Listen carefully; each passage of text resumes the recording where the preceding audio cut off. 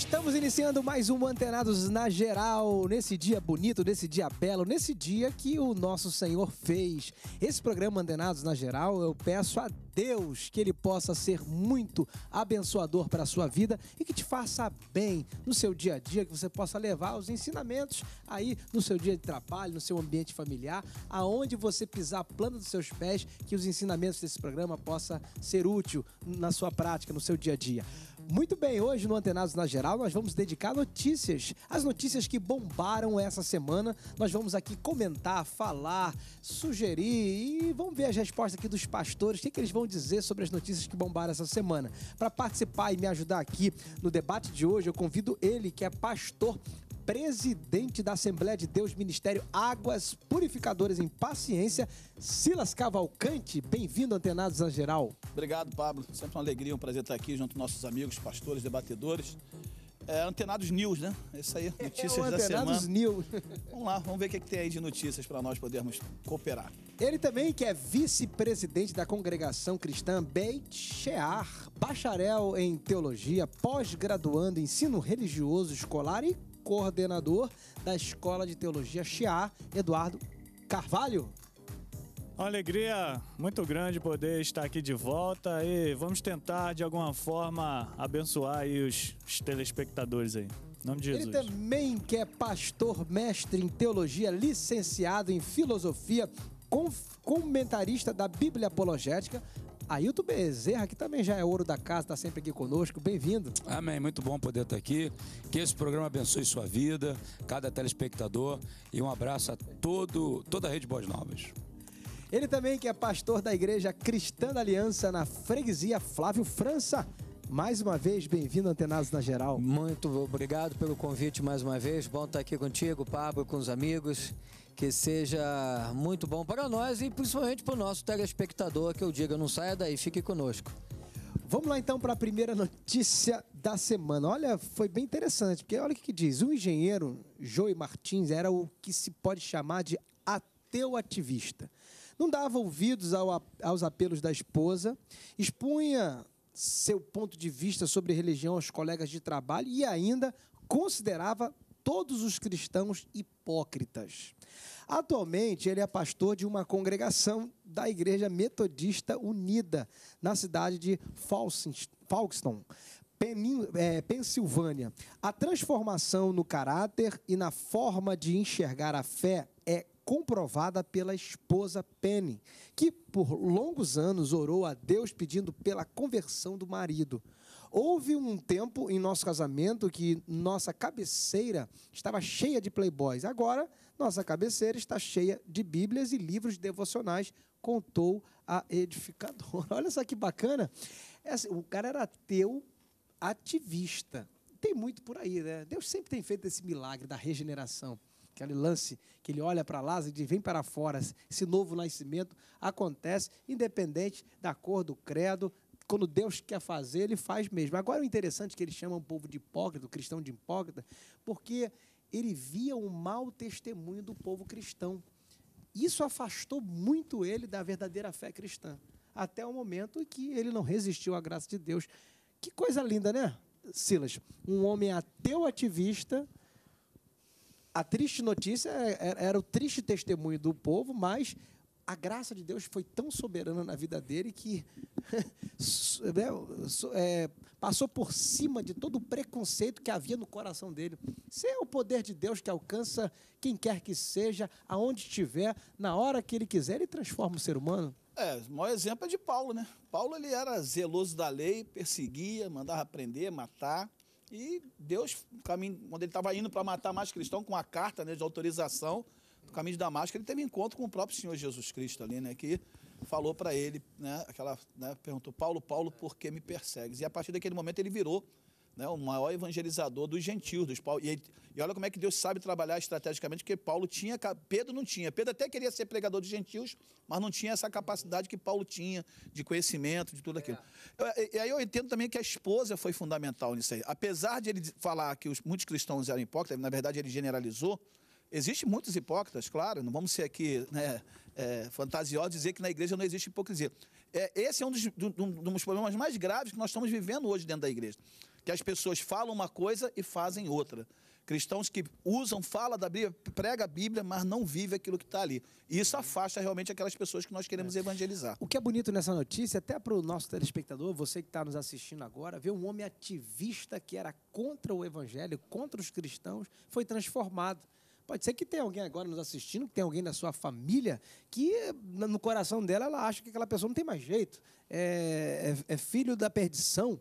Mas olha aí essa notícia desse homem que foi transformado. Acredite, Deus pode mudar alguém na sua família, alguém uh, no seu trabalho, alguém no seu círculo de amizade. Deus tem poder para transformar. Então, creia que o poder né, de Deus se aperfeiçoa e a, e a na fraqueza orando, do né, que, Thiago, a esposa orando. A, a Bíblia fala É. que a oração de um justo pode muito em seus efeitos. Essa que esposa ocorre? orou e ganhou. Deus é Deus de poder, Deus é Deus de graça. E o testemunho dela, com certeza, fez toda a diferença. Talvez uma irmã assistindo agora, você quer ganhar o seu esposo. 1 Pedro, capítulo 3, ele vai ensinar que a mulher que não tem um marido crente, que não obedece à palavra, ele vai ser ganho sem palavra. Então a primeira coisa tem que fechar a boca. Então tem que parar de falar. E às vezes fala demais, reclama demais, exige demais e a mulher se torna chata. E um outro aspecto de 1 Pedro capítulo 3 é que ele cita o comportamento de Sara. E é o que Deus espera. E também o que o homem espera. Uma mulher de um comportamento manso, quieto e tranquilo. Às vezes uma irmã evangélica tão nervosa, mas tão nervosa, bate no gato, no cachorro, no papagaio, espanca os filhos. Então o marido vai querer essa mulher quando? Nunca. Então eu destaco o testemunho dela. O segundo destaque é que ele se libertou da pornografia, porque ela falou que a cama lá, a cabeceira, era só pornografia. E aí ficou alerta. Muitos casais, às vezes, querem aquecer a relação assistindo um filme pornográfico. E aí, amigo, dá problema. Dá problema porque o ser humano, ele é um ser que ele é altamente é, vulnerável a, a se perder nas suas emoções e ser influenciado. E existem muitos casos de casais que estão assistindo e daqui a pouco o cara quer fazer o mesmo e a mulher dele não quer e dá problema e vai parar no gabinete pastoral. E aí o pastor vai resolver como um pepino desse. Então, é os dois alertas que eu quero destacar. E o terceiro e último é: vamos pregar o evangelho, queridos colegas pastores, nós que estamos aqui, quem nos assiste, porque o evangelho continua sendo o poder de Deus para a salvação de todo aquele que crê. Pois é, eu ainda destaco mais ainda, né? Às vezes o nosso discurso, a despeito dessa mulher que, que orou, nosso discurso com, com, com os ateus é aquele discurso da, da agressão, né? E que dificulta ainda mais o evangelho. Parece que eu sou o salvo, o santo, né? Quase um vice todo-poderoso, enquanto ele é somente escória da sociedade. Não é, o Eterno tem preocupação com ele também, como teve desse homem e, e regenerou ele. Né? Essa questão também da oração, por muito tempo, Pablo, eu que tenho amigos ateus, vários, que até frequentam lá o, o meu comércio lá e gostam de bater papo comigo sobre política, sobre ética, sobre decência, moralidade, essas coisas todas. Eles são, na maioria dos casos, muito morais, éticos, decentes. Né? Eu bato papo com eles lá e eu tentei durante muito tempo convencer o ateu através da razão, usar o meu conhecimento teológico e tal, e não deu certo. Não deu certo. De um determinado momento para cá eu parei e eu comecei a orar a respeito dos meus amigos assim. Sabe por quê? Que o dia que ele sofrer um processo que ele não entenda, ouvir a voz de Deus, tiver um sonho de Deus, receber uma visão de Deus, ou ele esbarrar com algo espiritual transcendente que ele, que ele não consiga ter a percepção, sabe, empírica daquilo ali, ele vai perceber que o eterno existe. E não só existe, é preocupado com ele. Ele é alvo direto daquele a quem ele, ele, ele não acredita. É, importante, a gente pensando assim na, na- na filosofia que tenta encurralar Deus dentro de uma lógica, vai chegar uma hora que o cara. Ele, ele não vai ter resposta para tudo. Vai chegar uma hora que ele vai ficar tão encurralado que ele vai ter que crer em um em um ser que governa Mas tudo. O que ele falou ali, o que ele É. falou ali na, na igreja aí, um jovem lá, ateu, e, infelizmente está difundindo muito entre os jovens né, essa, essa questão de ateísmo. E ele é ateu, e, e às vezes ele queria acabar o culto e vir falar comigo. Eu falei, meu querido, olha, Jesus te ama, Jesus te ama. E aí houve lá na igreja, nós somos uma igreja pentecostal, entend- entendemos e cremos que há- manifestações espirituais. E uma jovem eh, caiu endemoniada, e quando aquela jovem caiu endemoniada, a gente fomos ali em nome de Jesus expulsamos. E ele não entendeu aquilo. E aí ele começou a chorar, chorar, e falou: O que, que é isso? Eu nunca vi isso, eu não estou entendendo. O que, que é isso aí? E ele é ateu convicto, e, na- e naquele dia mesmo, ele foi e confessou Jesus Cristo, aceitou Jesus Cristo Que maravilha. É, é, esse- é, essas experiências que não, não, não tem como colocar no É isso papel, aí, né? não tem. Por exemplo, tem um físico que disse que descobriu a partícula de Deus, o pedaço de Deus, querendo provar pela ciência, pela É que Deus existe. Mas esse Deus não é o nosso mãos, Deus. né? É, Com ela em mãos, será? O Deus que se prova não é Deus, né? O, o nosso Deus, na verdade, ele, ele, ele é. Ele, Mas talvez- falei, mas Deus talvez, não Pablo. existe, ele é, Hein, né? Pablo? Porque quem existe Talvez foi a criado. ausência, a ausência do que o Silas colocou agora, não a experiência em particular de cair endemoniado, coisa parecida, é o que está faltando à igreja. Não digo buscar, mas estar para que isso aconteça, estar atmosfera diante do Senhor, espiritual, né? para que isso aconteça, porque isso é igreja, igreja é isso. A despeito de qualquer denominação, desde que ela esteja uma igreja vivendo no altar do Senhor, essas coisas acontecem. É, o Paulo falou Tremendo. isso, né? Eu não fui até a voz com palavras de vã filosofia, mas É eu fui aí. até a voz Poder com de poder Deus. de Deus. É isso aí. Porque se a igreja fosse só uma igreja de estudo, de palavra, e não houvesse manifestação do poder de Deus, o próprio evangelho Aí seria teoria. não converteria tantos. Seria teoria. É, eu, eu queria destacar, Pablo, no que você leu, que parece que ele ficava buscando, no meio dos cristãos, justamente uma justificativa, justificativa para a não aproximação. O pecado dele, né? Opa, o pecado das dele. revistas que tinha lá, né? Porque assim é muito comum ah, uma pessoa que não tem religião, um agnóstico, ou um ateu, aquele que não crê em Deus, e ele vai olhar para o cristão e, bus- e buscar falhas comportamentais e morais. E ele acha. Porque tem muita coisa que está ligada à questão da educação pessoal. E principalmente aqui, no nosso caso, não no contexto americano, mas nós brasileiros somos mal educados. Mal educados não no sentido pejorativo do termo, mas no sentido de que a nossa educação é muito rala. Nós somos, eh, portanto, que está aí. O Brasil, quando participa, os jovens participam em concurso de matemática e outros mundo afora, eles são sempre os últimos lugares. Sinal que a nossa educação é muito falha. E isso, isso reverbera para o comportamento. Então, imagine um ateu. Ele passa na porta da igreja e vê alguém da igreja sair, pegar um papel, um lanche, qualquer coisa e jogar no chão. O que, que é isso? Falta de educação. Aí ele olha e diz aí, tá vendo? É crente ou é cristão. Ele vai usar uma coisa, uma falha comportamental, e infelizmente a gente deixa muitas falhas, para poder acusar o cristão, porque, e, e- porque, claro, ele não pode olhar pelo lado espiritual, ele só pode olhar para aquilo que é humano. E humanamente falando, é incrível que às vezes você vai lidar com pessoas que são ateus ou que são agnósticos, e são pessoas extremamente Exemplares. educadas, cultas, cumpridoras dos seus, do, do, das suas obrigações, que são exemplos do ponto de vista da sociedade e que muitas vezes o cristão não é. O cristão que é salvo, que vai para o céu, é cheio de falhas morais e comportamentais em função da má educação que teve, e aquele que é o está problema? longe de Cristo tem um comportamento social exemplar e que é uma pessoa que você gosta de estar próximo dela. Por quê? Porque ela tem uma boa educação. Então, isso é algo que, por muitas vezes, é chocante. Paulo Então, o fala isso em problema- Romanos 2, né? É, aqueles que vivem sem. Aqueles que não têm lei vivem como se tivesse. Isso. Aí ele fala: olha para esses caras. A cara, que Eles problemática- precedem vocês, só. que têm, mas não vivem como A se- problemática na fala do É pastor forte. Flávio ali é o seguinte: é que caráter não se aprende na igreja, se aprende dentro de casa. O que acontece? O cara não aprendeu a ter caráter. Ele vai continuar na igreja sem caráter. E você vai mudar isso como? É, é muito complicado. Por isso que você encontra muitas pessoas não evangélicas. Eu não fui criado no evangelho. Eu encontro muita gente ruim dentro da igreja. Gente sem caráter. E é um complicado, meu irmão. Então o que acontece? O problema não é a igreja, o problema não é Jesus, o problema não é o evangelho, o problema é o caráter. Né? Me fez lembrar uma palestra do pastor Luiz Saião, ele estava falando, um vídeo interessante. E ele- falou, o cara falou assim: o senhor é evangélico? Senhor é pastor? Sim. Mas o senhor não é evangélico, não. Ele, por quê? Porque o senhor bebe café. Aí ele falou: olha o tipo de evangelho. O evangelho tão esquisito que estão. E o cara, a sociedade está esperando o evangelho, que não é evangelho. Evangelho se bebe café ou não bebe café. Pelo amor de Deus. Mas veja bem, Ailton, o problema é que Deus nos chamou para sermos diferentes. E a gente teima em ser esquisito. É isso aí. A gente É que quer ser estranho de qualquer maneira. É E, e a- essas- esse estranhamento faz com que as pessoas se afastem de nós e venham de se aproximar. Olha aí. Foi isso mesmo que ele então essa foi a primeira notícia do programa de hoje, falando sobre esse ateu ativista que se converteu, que o poder de Deus, ele ultrapassa as limitações humanas. Quando Deus quer, meu filho, não tem para ninguém. Então creia na transformação de alguém que você acha que eh, é muito distante do Senhor. Se Deus quiser, Deus salva. Faça como essa mulher, ore por ele, ore e dê um bom testemunho, viu?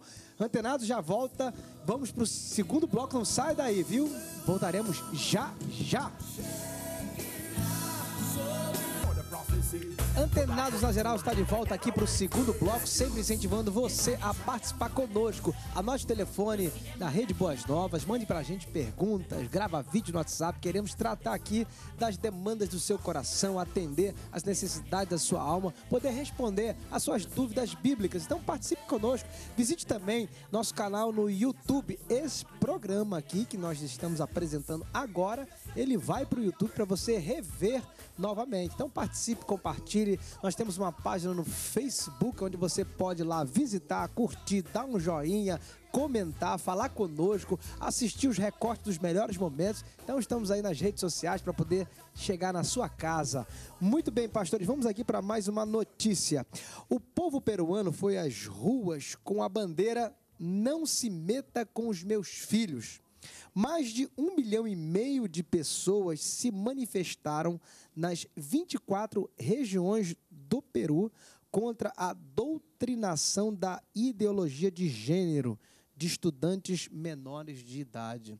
A ideologia de gênero é um assunto muito atual. Né? Vamos comentar um pouquinho sobre essa ideologia de gênero, que, por sinal, está desfazendo aí, querendo pelo menos desfazer aquilo que Deus fez construir homem e mulher, família. E essa ideologia de gênero aí está defendendo, para quem não conhece, é, o, quando falamos de, de, de sexo, fala da ordem natural da criação. Quando fala do gênero, já fala da opção sexual que a pessoa tem na sua subjetividade, na sua liberdade. Tem mais a ver até com a cultura que a pessoa vive, em qual ela é influenciada, na criação que ela é influenciada. Só que nós cremos que o homem que nasceu homem tem que morrer homem, e a mulher que nasceu mulher, ela vai ter que morrer mulher. Ela, durante a sua caminhada, ela não pode mudar. Isso é princípio bíblico e básico que nós defendemos e defenderemos até a volta de Cristo. Pablo, esse Amém? tema, esse tema, esse tema, me perdoa até a expressão, está virando já uma certa palhaçada, até no meio evangélico. Né? Me perdoa até a expressão pesada. Por quê? Se você fala contrário à ideologia de gênero, você é fundamentalista, você é ala não sei quem, você, enfim. Só que a grande questão, de forma muito simples falando, o cidadão é o que ele quer ser. E ninguém vai pedir ninguém de ser nada. É a livre expressão da vontade dele. Outra, desde que o mundo é mundo, existem homossexuais. E ninguém vai pedir ninguém de ser nada. Se o cara quer ser, o problema é dele. Ninguém tem nada a ver com isso. Agora, a problemática é que hoje o negócio se tornou ideologia e doutrinação até dentro das escolas.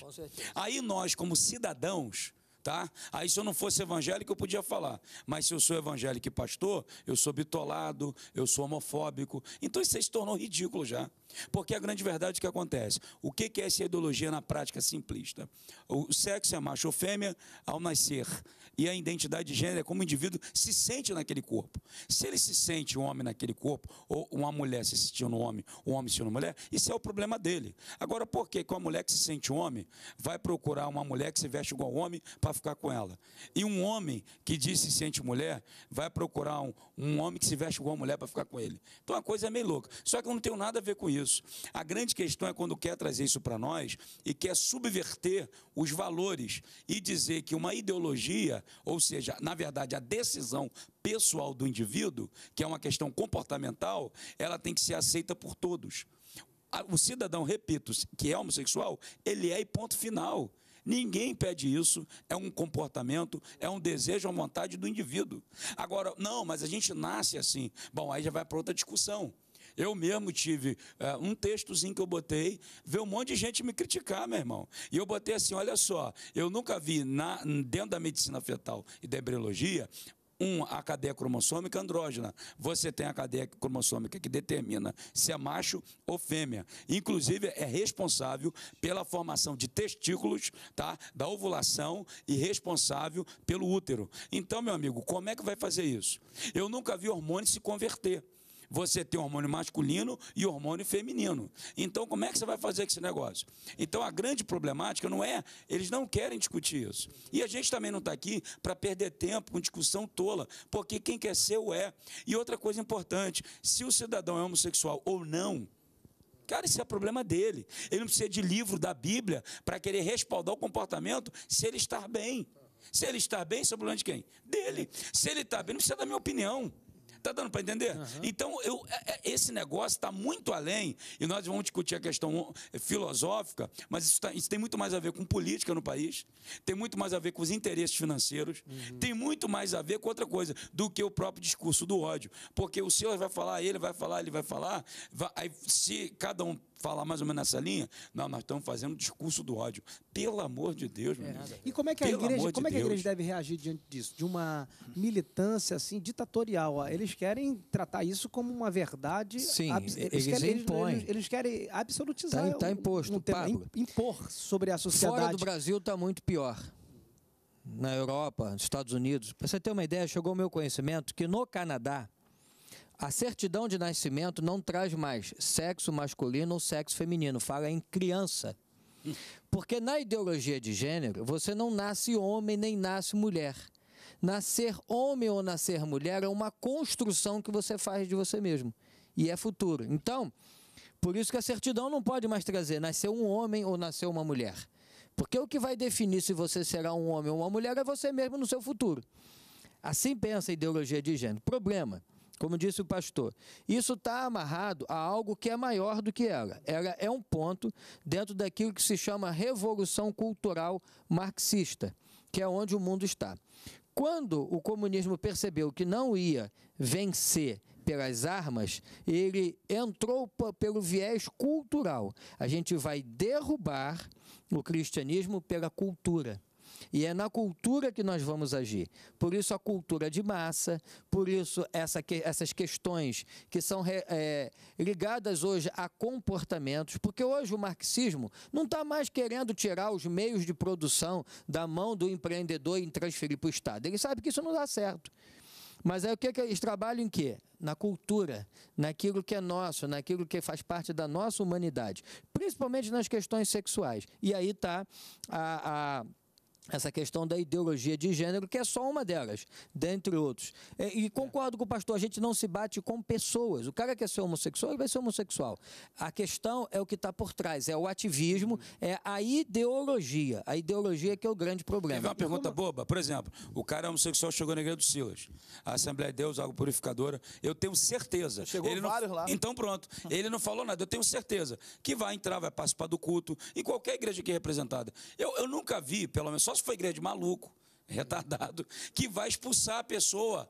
Não existe isso com a igreja, meu Deus. É, Só se for um. Não é igreja, é um louco é. que está por aí. E como é que é, Eduardo? É, vocês reagem lá diante de uma situação como essa? Porque os nossos filhos podem ser vítima no colégio se um, uma coisa dessa for aprovada e definitivamente utilizada na prática. Como é que a igreja deve reagir? Ela deve ficar calada, parada? Orando, ou a gente deve se levantar mesmo, desbravar, se levantar contra uma, uma, uma mentira como essa que vai de encontro àquilo que a gente crê. A gente tem que se levantar sim, Pablo, só que com as armas ideais, né?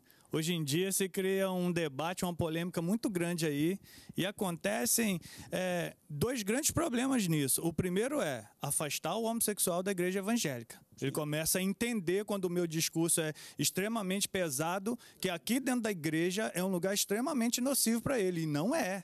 A igreja ama, ama o, o homossexual aí tem problemas com a sua prática, mas ela ama ele. Sim. Deus também o ama e também tem problemas com as suas práticas. Agora, a questão é, é, desses ensinos aí da cartilha que se diz hoje é uma questão de preocupação para nós cristãos? Sim, mas secundárias. Sabe por quê? Eu tenho uma filha de 10 anos e eu ensino ela da maneira apropriada pelos conceitos bíblicos como que ela deve se, se comportar. Eu ensino ela o que baseado na Bíblia é certo ou errado e como ela deve agir com o diferente, agir com amor, agir com a com tolerância, mas se afastar de, de certas questões. Outro problema é que no Brasil existe essa, essa, essa cartilha aí que está sendo sendo votada aí, vai aceitar, não vai aceitar, já suspendeu em alguns municípios.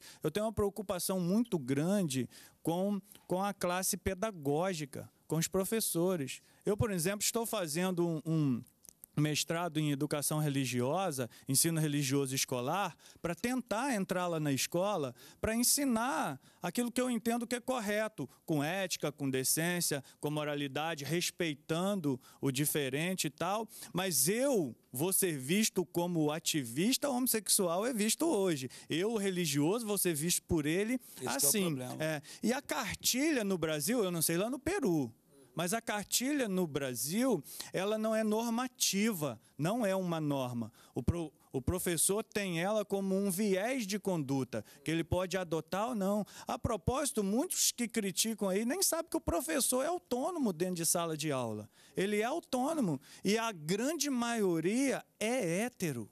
A grande maioria é hétero. A minoria tenta influ, influenciar de, de, certa forma. Mas eu ainda acho isso, um, embora seja um contexto difícil para a gente lidar à luz da Bíblia, eu ainda acho um problema secundário. E eu tenho muito medo de criar um problema maior, afastar o homossexual da igreja. Muito bem colocado. Acho que ah, Jesus disse assim: Eu não vos peço que os tirei do mundo mas que livrai-os do mal. A, a, gente tentar colocar a, a, os nossos filhos numa, né, numa bola, numa redoma, não tem como. Vai, é, os filhos, por exemplo, a gente ensina em casa a não falar palavrão, na, na escola tem palavrão. A coisa hoje tá, é, é o que o pastor Eduardo falou, a gente precisa criar o antídoto em casa, trazer um princípio de comportamento, um princípio da palavra, porque essas coisas vão vir, vão chegar. Não que eu seja a favor da cartilha, claro que eu não sou, mas também se a gente começar a tomar um, um ativismo desse lado, Pô, todo extremismo é ruim. Se eu começar a virar um extremista também, eu vou afastar essas pessoas. E é o que está acontecendo, porque o problema não é o homossexual, o problema é o ativismo homossexual. E, essas, e alguns pastores do outro lado estão tomando posicionamento também de ativismo, de extremista. E aí fica de um lado e de outro, e nós que queremos trazer um bom senso, a gente quer trazer um princípio de evangelização, porque eu, já recebi na minha igreja pessoas homossexuais, é, foi duas mulheres lá, foi, teve uma, um casamento de uma jovem lá da igreja, e as amigas delas são, elas foram muito bem recebidas, elogiaram, falaram que vão voltar, porque nós tratamos essas pessoas com dignidade, tratamos com respeito, e não é uma uma, digamos assim, um, um, tratamento hipócrita, é um tratamento sincero. E, e, a gente crê na transformação. Aí, a, ontem, o Fantástico passou uma reportagem sobre os transgêneros. E um menino de 11 anos, né, que é, ele é, mudou as vestes, já está indo para a escola com veste feminina, né? O menino falando muito bem, um menino muito bem educado, e os pais, né? Que o pai no, no primeiro, no primeiro momento não, não, quis aceitar. E o que, é que o médico disse? Eles já então, estão entrando na, na, na, área da genética, na área também da, da questão genética. O médico disse o seguinte: o transgênero é alguém que nasceu com a genitália masculina mas com a mente feminina, ou vice-versa. Então ela não, não, a pessoa não aceita aquele corpo. E aí entra por esse princípio de que a pessoa nasceu assim. Mas quando nós vamos. O Ailton é, é, trouxe aqui muito bem colocado a questão dos cromossomos, não tem isso. É cromossomo masculino, cromossomo feminino. Mas aí não é biologia, aí é psique. Sim, aí é questão de Eu acho que o transgênero é uma questão à parte. Assim, concordo com você que a gente não pode partir para extremos. Mas nós não podemos nos calar. Silas, hoje, se você chegar para um jovem na igreja e disser que ele tem que esperar o casamento para ter relação sexual, ele não ri na tua cara porque vai pegar mal. É, Mas lá dentro ele está dizendo, não é nada disso. Hoje, essa juventude tem como absolutamente natural o sujeito ser gay. A minha filha estudou num colégio, caro, que tinha um professor que era gay e que fazia campanha aberta a favor da homossexualidade e das vantagens de ser homossexual. Agora- Enquanto isso, a igreja se encolhe. E a, não, eu não vou me meter porque eu vou parecer radical, porque não sei o quê. A gente está se omitindo. Eles estão ganhando terreno. Pra, pra É gente- o ativismo, gente o problema é o break, fazer ativismo, uma, não uma é a pergunta pessoa. rapidinho, Ailton, pra gente ir pro break. Se um casal homossexual entra na sua igreja, fica, frequenta os cultos, quer participar das atividades, quer se tornar membro, como é que o pastor deve lidar com uma situação como essa? processo natural como qualquer outro indivíduo. Ele vai ter que se converter a Cristo, participar da aula de batismo. Após isso, normal. Ele não, vai- não é especial do que o outro. Ele é, tão, ele é tanto ser humano como o outro, que é um drogado ou não. O cara às vezes não bebe, não fuma, não cheira, não rouba. É um ser humano. Um indivíduo tem um bom caráter, não tem nada, a gente não está falando disso. Ele vai ter que ir para a igreja, ele quer fazer parte daquele grupo, ele vai se enquadrar naquele contexto. abandonar, abrir o- a prática do é pecado, Natural, pra- é, é. é natural isso. Então, a- o problema todo é o que nós colocamos aqui agora. Qual é o problema? Mas se quiser se eu também tenho uma filha de casa, 10 é, anos. com relacionamento- Então, eu também tenho uma filha de, de- de 11 anos já e uma de um ano e seis meses. O que acontece é o seguinte: eu concordo com o pastor, não foi ensinar dentro de casa. Legal. Todo correto. Só que tem uma coisa, eu também concordo com ele. E, enfim, em que sentido? O problema qual é? Aonde é, no passado, eu não tenho tanta idade, mas onde é no passado que tinha essa relutância? Tinha alguém na escola defendendo, vamos ser. Não tinha isso, cara. Isso é novo, isso é agora. Tem quantos anos isso? Mas isso tem motivo de ser. não tem. é outro papo. tem. A gente fala daqui a pouco. Muito bem, viu? Esse bloco aqui foi curto para o tema de hoje. Né? Aliás, é, ideologia de gênero é, é, é muita tosse. Se você botar no YouTube, na televisão, é o tempo todo falando sobre isso e nós também estamos falando hoje. Vamos para o intervalo? Um rápido break? Antenados volta já já.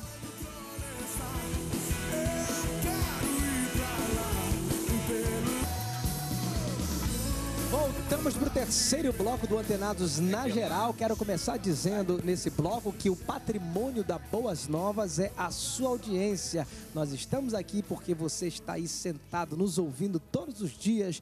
Fale de nós na sua comunidade, fale de nós no seu ambiente familiar. Divulgue o Antenados da Geral, que já está aqui há anos, pregando a palavra de Deus, a verdade das Escrituras. Queremos ser um programa santo que coloca Deus em primeiro lugar, que exalta Cristo, que a palavra de Deus seja o centro desse programa. É para isso que há anos lutamos para que ele permaneça de pé, sempre entrando na sua casa. Hoje estamos na Oi TV, no canal 210, estamos na Digital 5.1, tem na UHF, tem pela internet. Então, estamos espalhados aí pelo Brasil e pelo mundo. Muito bem, pastores, mais um- uma notícia aqui, vamos lá. A maioria ampla das pessoas que se identificam como cristãs não conhece a visão da Bíblia Sagrada sobre assuntos cotidianos e principalmente principal, princ- e princípios morais que devem ser aplicados diariamente. Em um levantamento feito com 6 mil pessoas nos Estados Unidos, se descobriu que dos que se dizem cristãos, apenas 14% sabem responder questões bíblicas ligadas à fé que professam. Existe, pastor Ailton, um analfabetismo cristão nos dias de sim, hoje? Sim, E antes de falar dele, a gente foi para o bloco e, e voltaria, né, e já entrou aí tão rapidamente. Já começa por aí. Por exemplo, a questão que a gente está tratando da homossexualidade, de forma bem objetiva. A única coisa que deu estabilidade social em todas as épocas, em todas as civilizações, foi o modelo monogâmico de família. Um homem, uma mulher em amor, criando seus filhos. Único. Você vai para o momento, para o Império Babilônico, por exemplo, você vai para o período de Alexandre o Grande, a promiscuidade levou Alexandre à ruína. Você vai para o Império Romano. Quem não viu, quem assistiu, por exemplo, um filme sinistro, tá? chamado Calígula, um filme promíscuo, que revelava a realidade do Império Romano, o que levou à queda total. Você rompe tudo que é valor, você vai quebrando tudo. Quer ver um exemplo disso? Você está perguntando da, questão da Bíblia, na igreja? Tem gente que quer ser crente sem ter igreja. Eu sou crente, mas não tem igreja nenhuma, que a instituição não presta. Mas por que não quer instituição? Porque a instituição tem limite, tem regra e tem princípios. Eu não quero ter limite, eu não quero ter regra, eu sou Cristo em casa. Eu faço minha oração, tomo a ceia pela televisão. Isso não é evangelho, amigão. Aí vão ficar com raiva de mim. Não, esse pastor é. eu- pelo amor de Deus, cara. Pela Então, TV, é. é. Mas já disseram também que tem igrejas nos Estados Unidos, algumas igrejas online. Tipo, se o, o cara. Não, mas o tem no Brasil online, também. Se o cara quiser aceitar Jesus, ele aperta o enter levanta a mão e aceita Jesus. Deixa eu só concluir. É. Tem um aqui no Brasil que tem um aplicativo da igreja, o cara se torna membro, tira a foto e manda na hora. E já deposita o dízimo. aqui. Mas só para concluir rapidamente, então, esse analfabetismo bíblico é porque hoje você tem cristãos nominais. E isso é culpa do advento de uma igreja pós-moderna que está fazendo a pregação de Satanás. Uma igreja que está oferecendo o que Satanás ofereceu para Jesus lá no deserto. Ele ofereceu para Jesus, ele ofereceu riqueza para Jesus, ele ofereceu para Jesus mágica, transforma essas pedras em pães. Não trabalhe, vamos pegar a pedra e transformar em pão. Você vai comer tudo mole.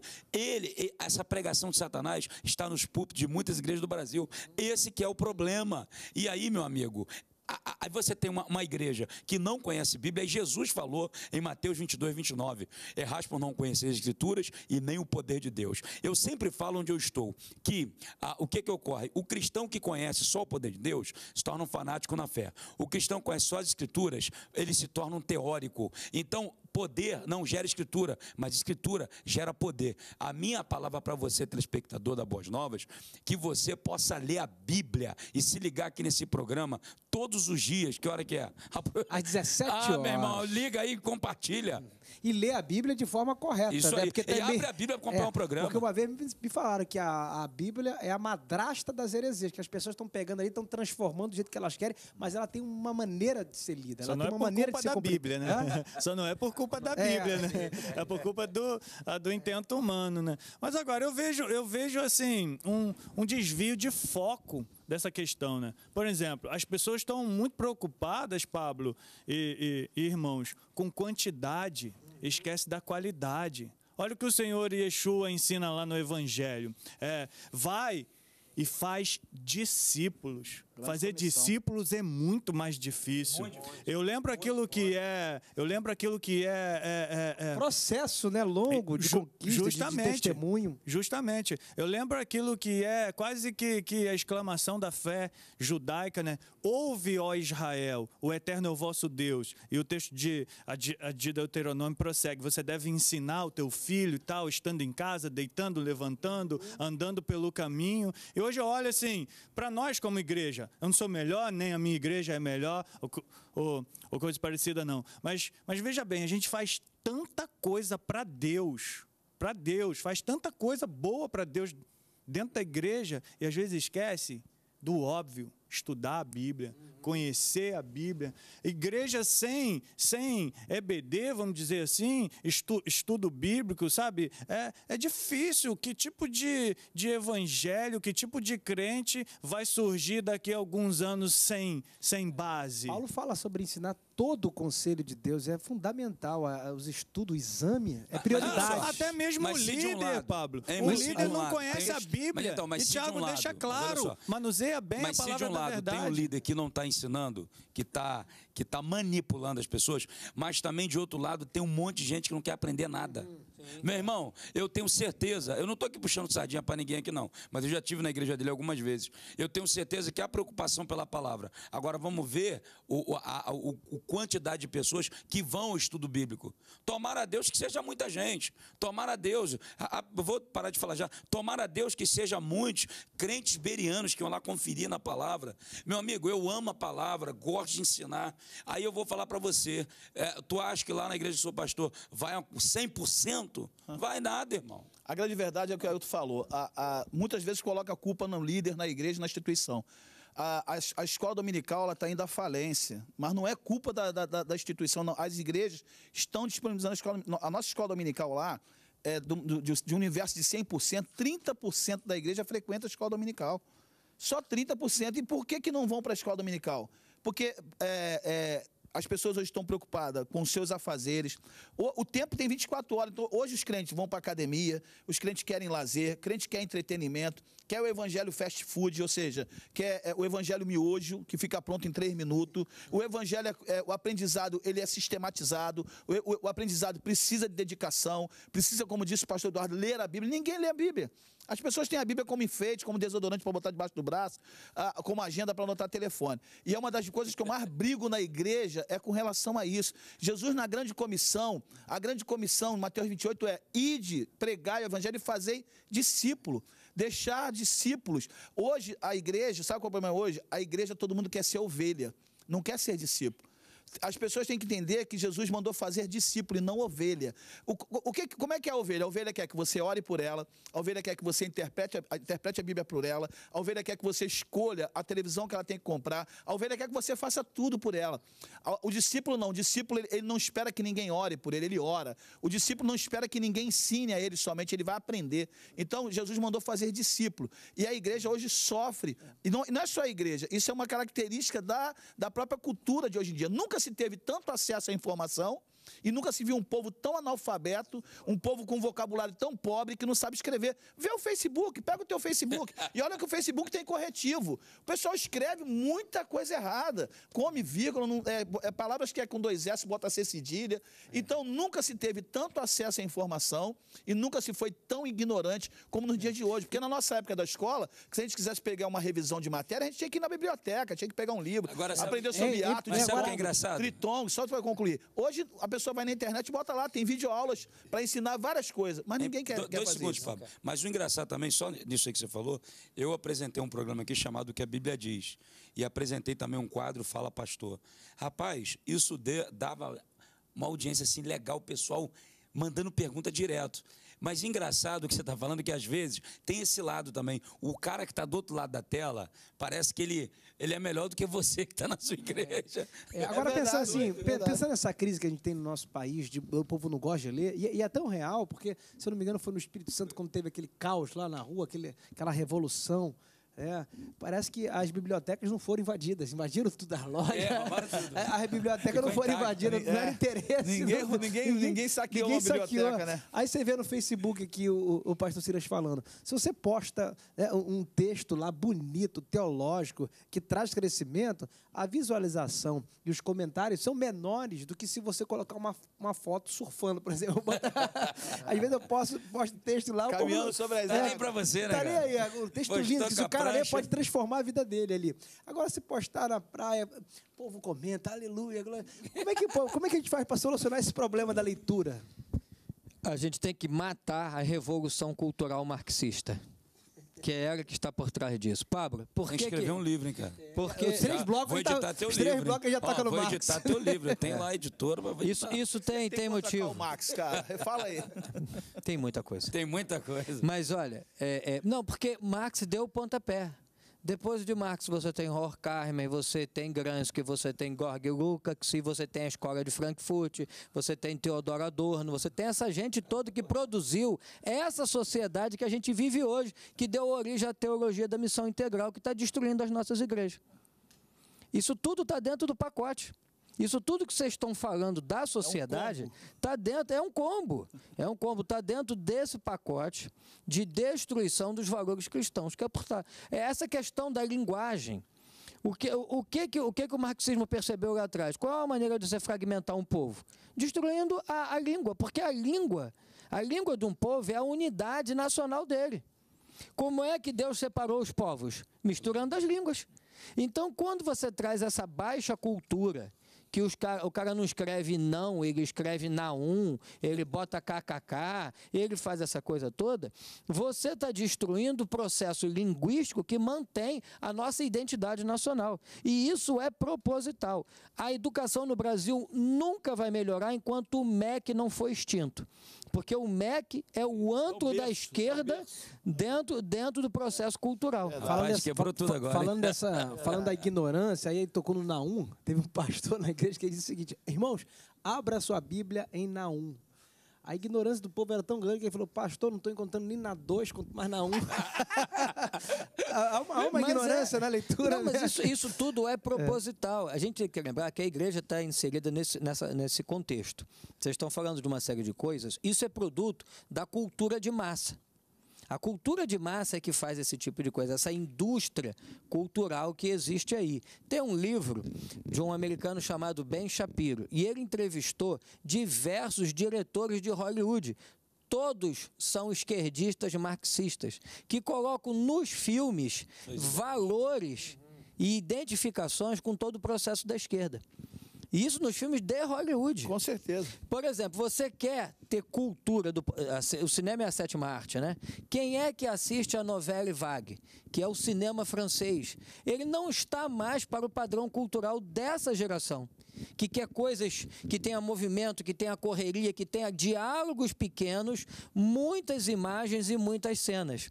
Porque é uma outra cadência, é um outro processo. É um filme que você tem que pensar, como os filmes de Woody Allen e alguma, algumas pessoas Pegando que ainda esse gancho aí, então a solução nisso. mesmo é começar dentro das, das nossas igrejas, é, criando nossos filhos no, no caminho da verdade, né, incentivando a leitura, que é o único caminho. Os esquerdopatas americanos disseram que para o, o- país ser esquerdista, eles vão começar pelo colégio, ali ins- instruindo as crianças, os adolescentes, para quando crescerem, dominarem. A problemática Com é, certeza. é que por aí, Paulo, a gente tem que Paulo incentivar a EBD da nossa Em igreja. Timóteo 4,13, 1 Timóteo e 2 Timóteo, abre sua Bíblia na sua casa e confira. Ele fala: aplica-te à leitura. A exortação e ensino. Então, Paulo orientou Timóteo, vá, aplica-te à leitura.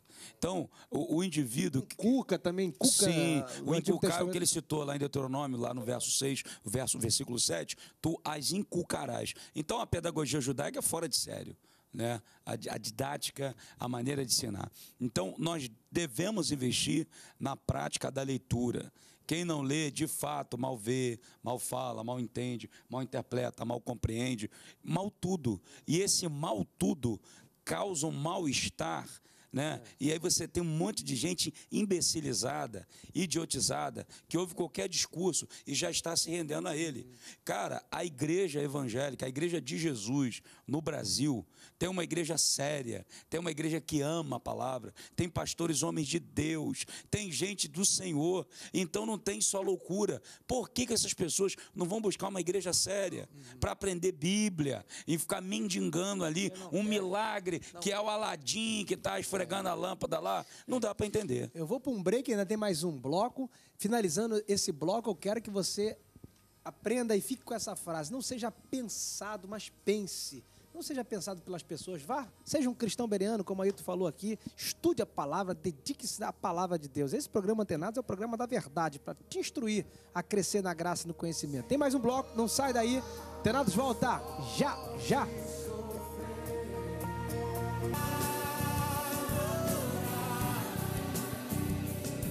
Antenado está de volta aqui para o quarto e último bloco ao som do Fernandinho. Eu nasci para te adorar. Você nasceu para adorar a Deus? Eu nasci para adorar a Deus. Então, vamos viver uma vida de adoração.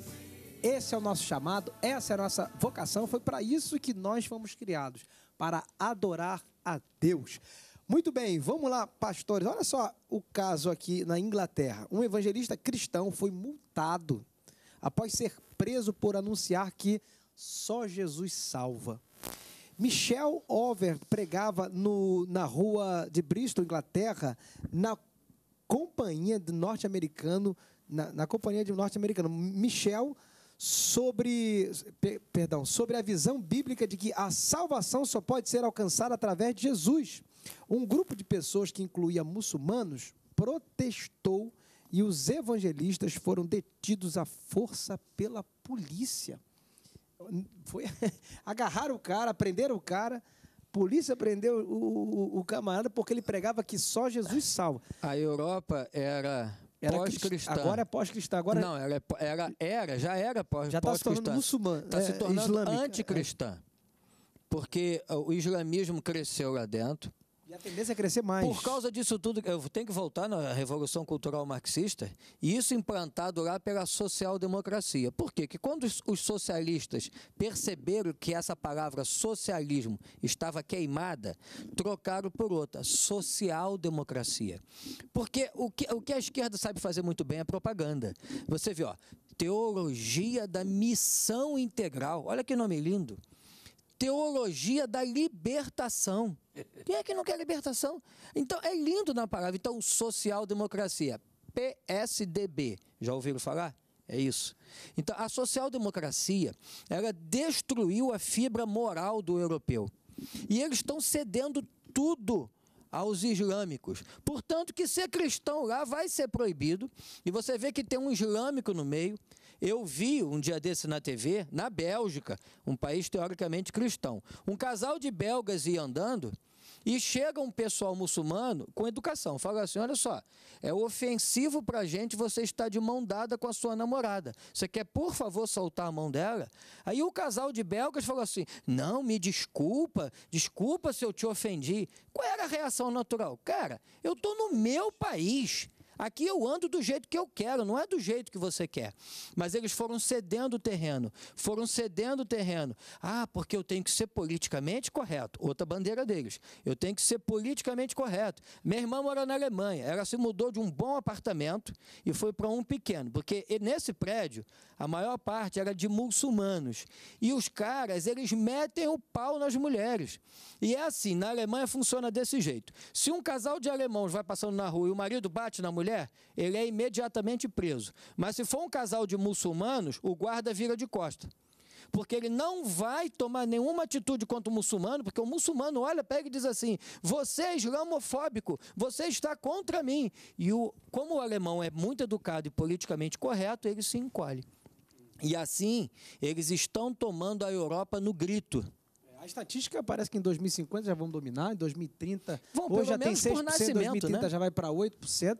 Então é interessante, né? Porque é- é- era um. Era, é- agora é, é pós-cristão e agora os cristãos já estão sendo perseguidos. Onde se brincar- foi o lugar das reformas de Então. John Knox e outros Sim. mais aí. A gente tem dois minutinhos, eu queria ouvir. E se brincar, dois Uma segundos só. colocação dos Se brincar pastores. vai acontecer aqui também. Por quê? Como ele está colocando, existe um evangelho intelectual no Brasil. Os camaradas vão para a academia teológica e ficam intelectualizando, só. Ok?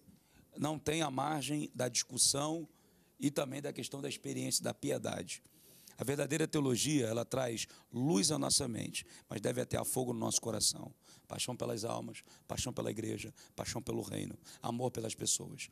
Agora, a intolerância religiosa dos muçulmanos, se a gente não tomar cuidado, daqui a pouco, irmão, a gente vai estar sendo preso também. É, a nossa teologia é uma teologia para a vida, né? Tenho 30 segundinhos. Dá uma colocação aí, Eduardo. A preocupação é não ferir também o próximo, né? Porque o, o Eterno deu o direito do, do livre-arbítrio, né? O Eterno criou ele, ele tendo a perspectiva da salvação também ou não, né? Eu, é lógico que eu tenho que expressar a minha fé, evangelizar.